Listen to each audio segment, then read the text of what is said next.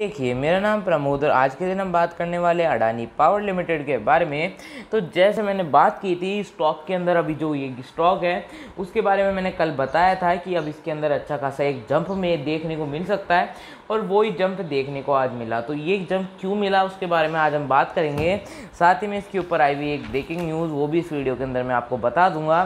तो अगर आप इस चैनल पर फ़र्स्ट टाइम विज़िट कर रहे हैं या पहले भी कर चुके हैं और अभी तक सब्सक्राइब नहीं किया है तो आप फाइनली आप चैनल को सब्सक्राइब कर सकते हैं, साथ में बेल आइकन दबा सकते हैं, जिससे मिल सके आपको लेटेस्ट अपडेट तो अगर बात करें इसके न्यूज़ बेसिस पे तो आपको देखने को मिलेगा, सात घंटे पहले आई थी कि टाटा पावर और अडानी पावर। ये दो कंपनी है जो रेस के अंदर है, यूपी ट्रांसको में। जो ट्रांसको को है, उसको बाय करने में दो कंपनी हैं।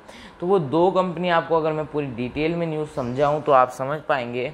तो अगर न्यूज़ पे चलते हैं हम तो आप देख पाएँगे, अभी खुल रही है न्यूज़ थोड़ा सा वेट कीजिए, अब आप देखिए।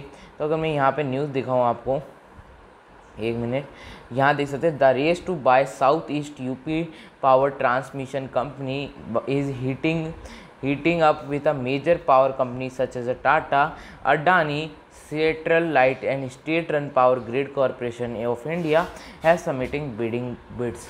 तो बात करें, इसको ख़रीदने के लिए तीन चार कंपनियों ने अपनी बिड सबमिट कर दी है। तो अब देखा जाएगा किसके ऊपर ये बिड मिलती है मतलब किसको ये मिलती है company.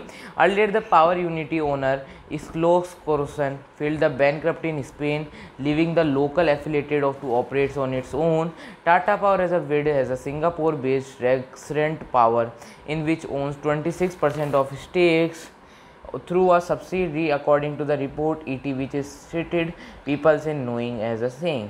तो ये कुछ आपको न्यूज़ समझ में आई हो तो मैं आपसे करूँगा कि स्टॉक के बारे में चल, पहले हम न्यूज़ बात कर लेते हैं। स्टॉक स्टार्टिंग के अंदर गिरावट में रहा, लेकिन एंड में एक बढ़िया उछाल देखने को मिला, और वही उछाल स्टॉक को ऊपर ले गया। यार बात कर ले अगर पाँच दिन की तो उसके अंदर एक भारी गिरावट देखने को मिली होगी। स्टॉक अब जाके पॉजिटिव मूव देने लगा बात कर लूँ। एक महीने की उसके अंदर और ज़्यादा गिरावट इक्कीस की छः महीने में देख सकते हैं आप जो पॉजिटिविटी थी, वो बिल्कुल ही गिरावट में बदल गई थी पिछले एक महीने में और अब जाके वो परफॉर्मेंस देखने को मिला है पिछले दो महीनों से। तो अब जाके वो देखने को मिला है कि अब सर्किट में लग के अच्छा खासा ओपनिंग और रिटर्न दे रहा है। बात कर ले अगर एक साल की तो उसके अंदर भी बढ़िया रिटर्न है। लेकिन अगर फाइनेंशियल से मुझे ये स्टॉक बहुत ही ज़्यादा पसंद है, अगर आप इसके फाइनेंशियल देखें वो आपको बहुत ही ज़्यादा पसंद आएँगे। तो ओवरऑल मुझे लगता है आज का वीडियो यहीं एंड करना चाहिए।